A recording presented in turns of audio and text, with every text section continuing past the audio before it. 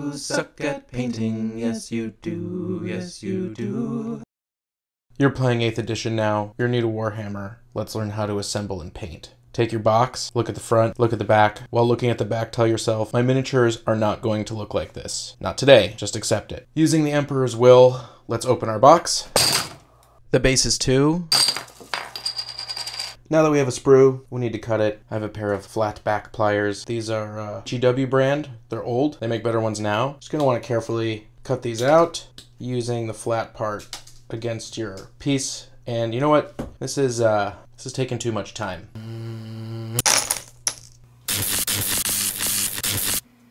Time to assemble. Kicker. Glue. Now, you definitely can put too much glue, but you can't put too little glue. Just kind of hit that happy medium. Take a piece, lay the glue around, stick it together, spray, spray, spray. Hold it for a second. Ta-da! It is complete, and it's time to prime. Citadel Chaos Black Primer. Spray it outside. Don't be an idiot.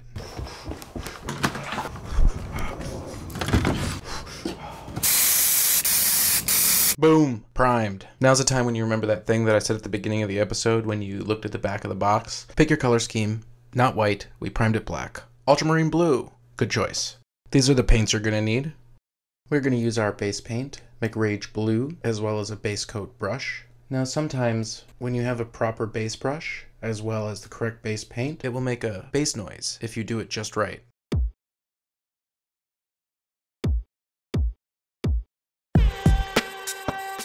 I got my prime and my paint. My brush is on the table even though it's getting late. Painting layer by layer, letting it drop and wait. Never use it straight, always thin that paint. Hoping that the haters don't hate, even though this video is prime bait. Bait, bait, bait. Well, our uh, base coat's done. Next, we're gonna put a wash in our recesses. we're gonna be using the color Nuln Oil in the largest bottle that we can possibly buy. And we're using a wash brush. We want to get it only in the areas that we want darker, like the crotch. Throw that brush away. Next, we're going to apply a dry brush of Calgar Blue. You guessed it, we're going to use a dry brush. Dip just the tip of your dry brush in the paint, and then completely rub off all the paint. Now that you're done dry brushing, of course you can't wash your brush because that would obviously make it a wet brush, so just go ahead and throw it in the garbage. We're going to paint the grenades and the guns and the metal, and we're going to start with Ironbreaker. I'm using my base brush for this. Gonna paint the bags, Dawnstone Gray. That's looking nice. We're gonna paint all the straps Baneblade Brown. To do that, drop your miniature in a box, then add your paint, shake it up, and your straps should be painted. We're going back to Nuln Oil. If you spill your wash, do not post pictures of it on Facebook. No one cares. Apparently we need to paint this stupid knee white to do that, we're going to start with a touch of gray. While we're letting the knee dry, we're going to paint the helmet red. Back to our white.